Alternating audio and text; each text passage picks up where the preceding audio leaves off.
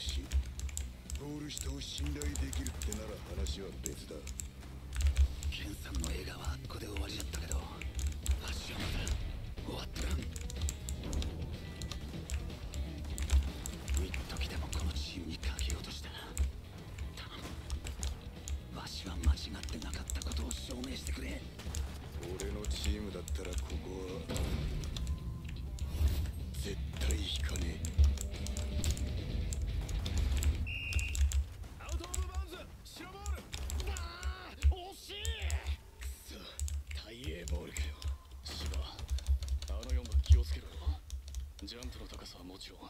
瞬発力が半端ねえ。下手に追っかけたらファール取られるぞ。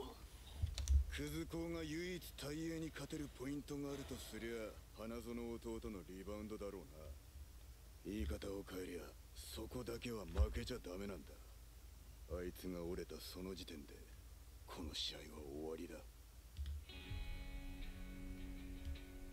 トビの野郎。しょっぱなから好き勝手やりやがってあと2分。まさか外からガンガン行こうってんじゃ。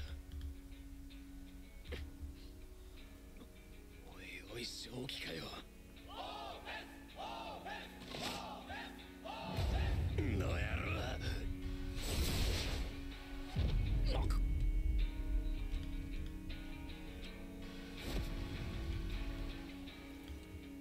早すぎて何がなんだか。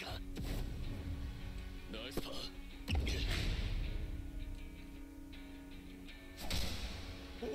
イスブロック黒11番いってえなこの野郎まだ第一クォーターなのにファールが4人。し心臓が痛いだ大丈夫か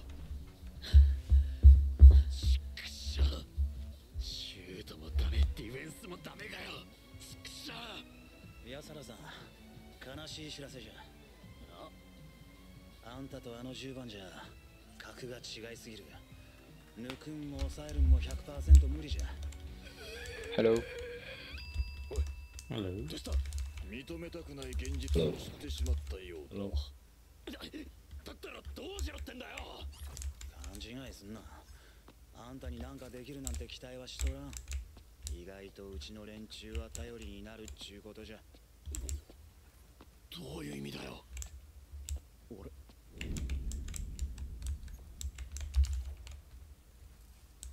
そうやトビと普通に話したな。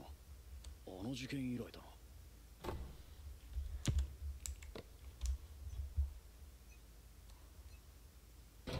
2本目は外したよっしゃナイス桃春 Get back.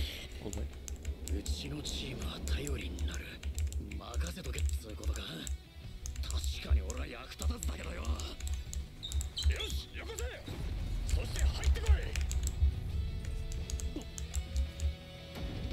千秋がフラッシュしてローポストにスペースができ暑さのせいじゃなく体中から汗がどっと吹き出す。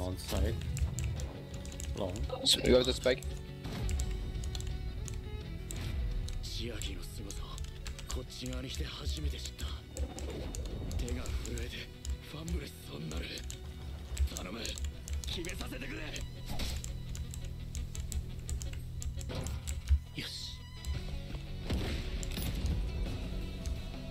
ナイスリー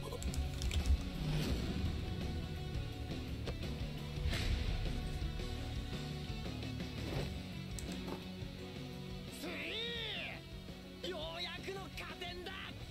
よし!ディフェンスだ!止めるぞ!